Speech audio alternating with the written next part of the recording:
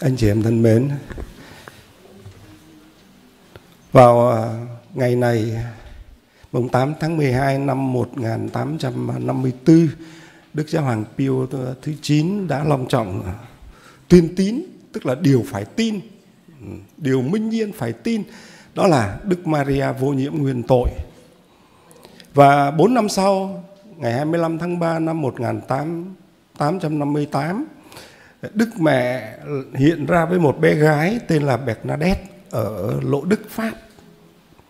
Và khi ờ, bé gái Bernadette ấy hỏi thưa bà bà tên là gì thì bà nói ta là đấng vô nhiễm nguyên tội. Ta là đấng vô nhiễm nguyên tội.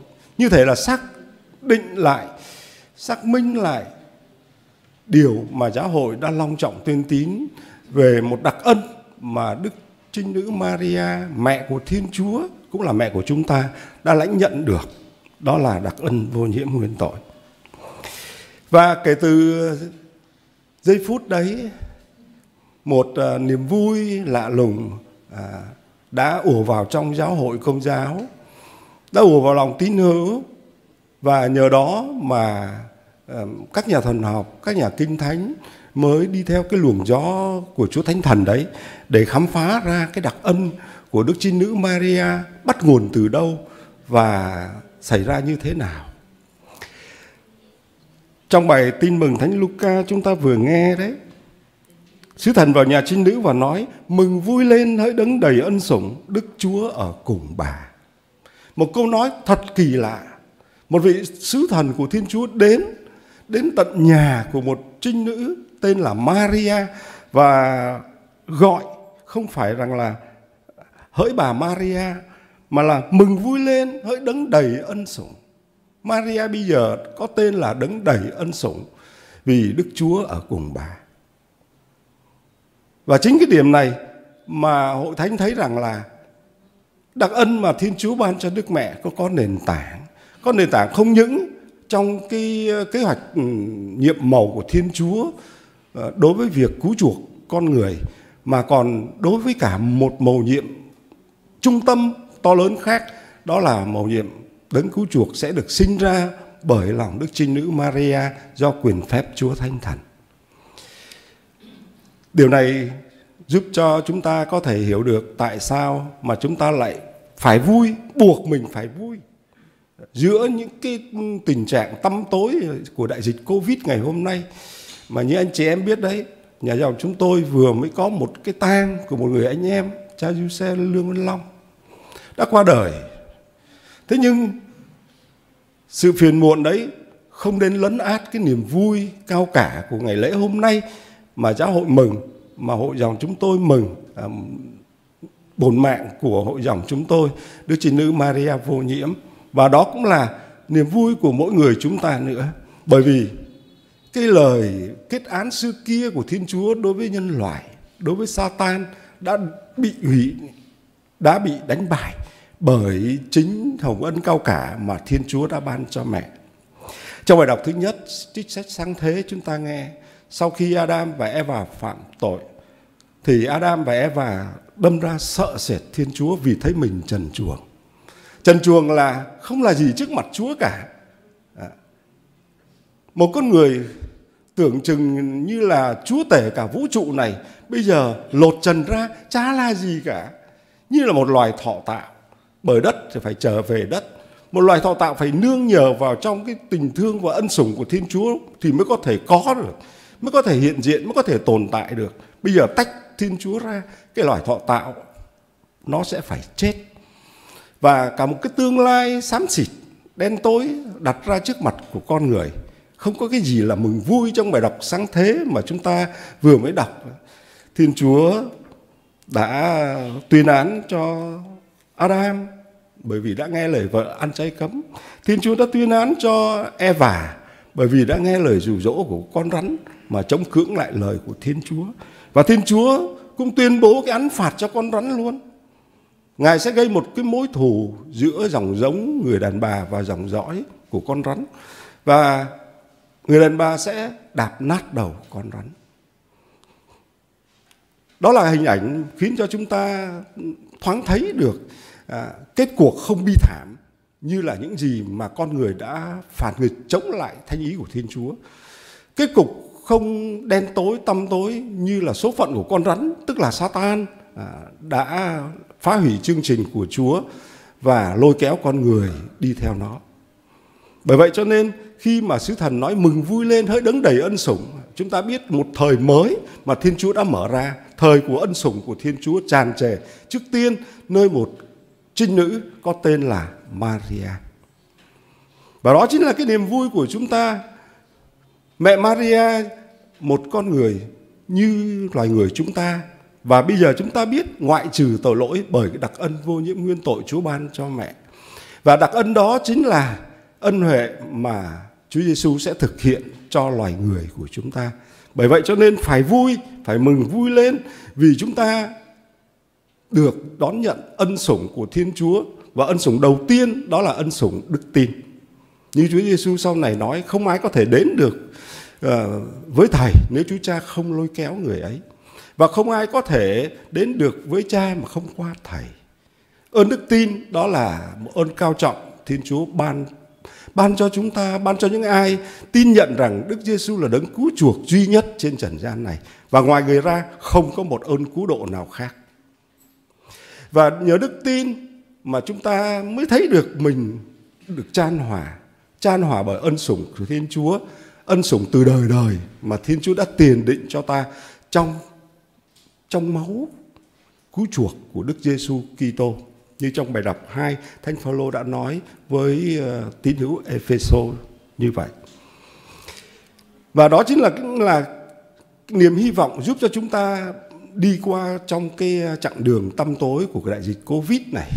Khi mà cả một nhân loại người ta không còn tin vào Chúa nữa, khi cả một số đông nhân loại người ta tự mình kiếm cho mình một con đường giải thoát và cứu rỗi riêng, thì người ta đâm đầu vào trong những cái bế tắc, trong những cái cái mà kinh thánh gọi là tội lỗi, mất ơn của thiên chúa. Và không những thế, là lãnh lấy cả cái sự trầm luân đời đời cho chính bản thân của mình.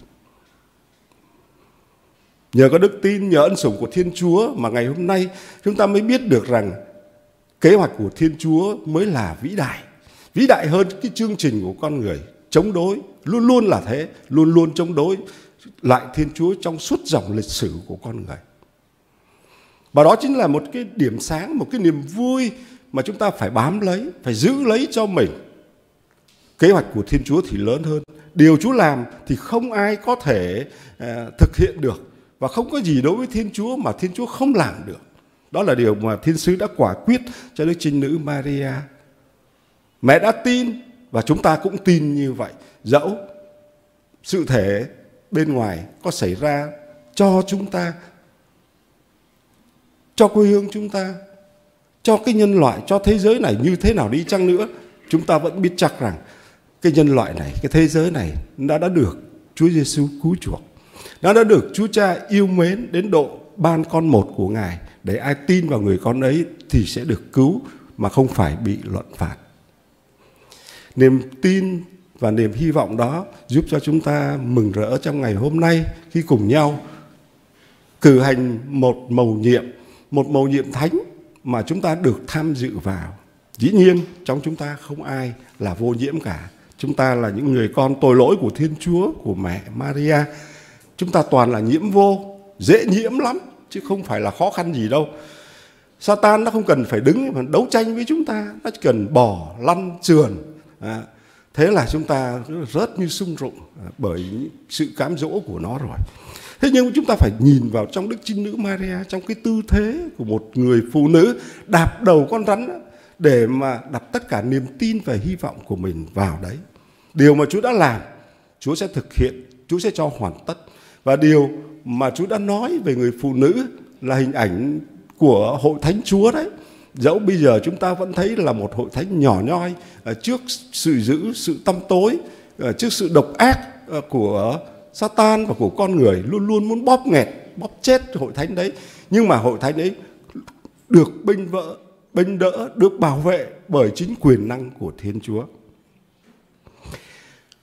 Tạ ơn Thiên Chúa đã ban cho chúng ta có một người mẹ để chúng ta có thể nhìn ngắm ngày hôm nay mà thấy được lòng thế nào là lòng tin của mẹ. Thế nào là ân sủng tràn đầy mà Thiên Chúa ban cho mẹ ngày hôm nay?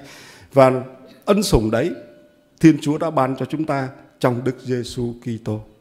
Thánh Phaolô trong thư thứ hai, trong thư gửi tín hữu Epheso ngài nói: chúc tụng Thiên Chúa là thân phụ Đức Giêsu Kitô, Chúa chúng ta. Bởi vì trong Đức Kitô từ cõi trời, người đã thi ân giáng phúc cho ta hưởng muôn vàn ân phúc của Thánh Thần. Ân phúc của Thánh Thần, những gì Chúa ban cho mẹ, Chúa ban cho chúng ta. Nhưng vì sức chứa của chúng ta không như mẹ được. Chúng ta không giữ, chúng ta không quý, chúng ta không trọng ơn huệ của Chúa. Cho nên ơn ấy trở nên mỏng giòn, à, dễ vỡ và vẫn hay thường vỡ à, đối với đời sống của chúng ta, đối với bản thân của chúng ta. Khác với mẹ, mẹ là một loài thọ tạo tinh tuyển của Thiên Chúa. Những gì mà Chúa đã ban cho mẹ, mẹ gìn giữ, mẹ trân quý. Và có thể nói rằng là ờ, bản thân của mẹ ờ, chính là ơn và ơn thấm nhập vào trong bản thân và cuộc sống của mẹ. Để để ngày hôm nay chúng ta có lý do mà ca ngợi mẹ là đấng đầy ân sủng. Và cuộc sống của mẹ cũng thế, cũng đầy ân phúc như vậy. Ân sủng đấy Đức Giêsu đã ban cho chúng ta, đã cứu chuộc chúng ta. Thánh Phaolô Thánh Phaolô tông đồ đã nói, trong Đức Kitô Thiên Chúa đã chọn ta trước cả khi tạo thành vũ trụ để chúng ta trở nên tinh tuyển, thánh thiện. Chắc có lẽ chúng ta nhìn vào mình, chúng ta sẽ thất vọng về con người của mình, về tính mỏng giòn, về tính hay cháo dở, về sự lỗi phạm của chúng ta. Nhưng ngày hôm nay hãy nhìn vào ân sủng của thiên chúa để chúng ta có hy vọng. Niềm hy vọng chúng ta không đặt ở trong khả năng của mình, ở trong cái nhân đức của mình ngay cả trong cái sự trong trắng hay là trong cái um, sự tinh tuyển của mình không chúng ta đặt ở nơi thiên chúa đặt tất cả mọi sự ở nơi Thiên Chúa là đấng gìn giữ cho chúng ta. Sau khi người đã ban cho chúng ta, xin Chúa gìn giữ ơn ấy cho chúng ta để chúng ta có thể cùng với ơn của Chúa ban đấy mà thực hiện được điều Thiên Chúa muốn chúng ta phải thực hiện trong cuộc sống mà Chúa đã ban cho chúng ta khi chúng ta sống chân trần gian này. Đấy là ân huệ của Thiên Chúa, một ân huệ cao cả vô cùng mà cho đến muôn ngàn đời. Có lẽ chúng ta sẽ không bao giờ mà có thể ca ngợi hết được những ờ, kỳ công mà Thiên Chúa đã thực hiện cho chúng ta. Kể cả khi chúng ta đang sống trong những cái cảnh gian nan bế tắc, kể cả khi chúng ta phải sống trong một cái hoàn cảnh mà không còn biết nương tựa và bấu víu vào ai, thì ngày lễ mừng mẹ vô nhiễu hôm nay khích lệ chúng ta hãy nhìn lên Thiên Chúa, hãy nhìn vào Thiên Chúa, hãy nhìn vào ân sủng của Thiên Chúa, hãy nhìn vào tình thương Hãy nhìn vào lòng xót thương của Thiên Chúa trải dài qua từ đời nọ đến đời kia dành cho những ai kính sợ người. Thầy ông Sô trong cái um, bản kinh mà Ngài dạy um, con cái của Ngài trong hội dòng của chúng tôi, kinh dọn mình chết lành, Ngài có nói, con xin khi sống được kính sợ Chúa và khi chết xin cho con giữ mãi lòng yêu mến Chúa. Chỉ hai điều đấy thôi là chúng ta có thể giữ được linh hồn của chúng ta đến khi trình diện trước nhan Thánh Chúa. Xin mẹ Maria đấng vô nhiễm nguyên tội thương đến đoàn con cái của mẹ đang lầm than vất vả ở trần gian này, đang phải đương đầu với mọi khó khăn, gian khổ, nhất là cái sự cám dỗ của Satan lúc nào cũng rình bùa vây để cướp lấy linh hồn. Linh hồn quý báu mà Chúa Kitô đã đổ máu để cứu chuộc nó. Xin mẹ hãy gìn giữ chúng con và hãy hướng lòng chúng con nhìn vào công ơn cứu chuộc của Chúa Kitô mà hàng tin tưởng ngợi khen Chúa, tạ ơn Chúa mỗi ngày để sau này chúng con sẽ được cùng mẹ vui hưởng vinh quang trên thiên quốc. Amen.